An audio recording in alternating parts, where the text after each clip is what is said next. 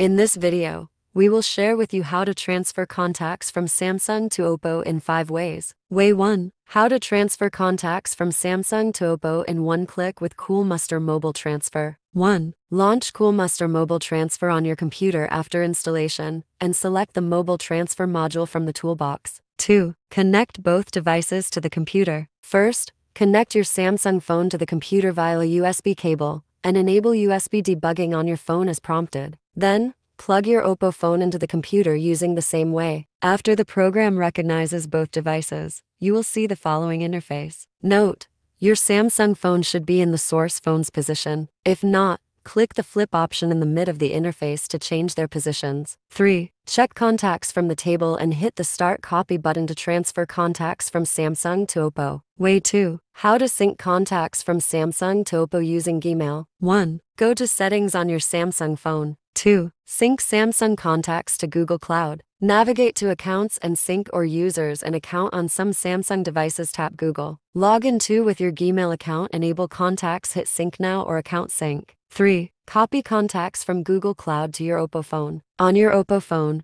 go to Settings select Accounts and sync click Google. Sign in Google with the same Gmail account that you backup contacts with. Turn on contacts. The contacts in Google Cloud will now start syncing to your Oppo phone. Way 3. How to move contacts from Samsung to Oppo via Oppo Clone Phone. For Oppo ColorOS 6.0 and higher versions. 1. Install Oppo Clone Phone on your Samsung phone. As it comes as a pre-installed app on your Oppo phone, you can go to Tools Clone Phone and select New Phone and other Android phone. 2. Launch Oppo Clone Phone on the Samsung phone and use it to scan the QR code on your Oppo phone to start copying. For Oppo 5.2 and lower versions, 1. Install and launch the Oppo Clone Phone on your Samsung phone. 2. On your Oppo phone, go to Tools Clone Phone select this is the new phone and import from an Android phone. 3. On your Samsung phone, Click Clone Phone from the home interface choose this is the old phone. Next scan the QR code on the Oppo phone to start cloning. You can also tap the manually select the data to be cloned option to select contacts and transfer them to your Oppo phone. If asked,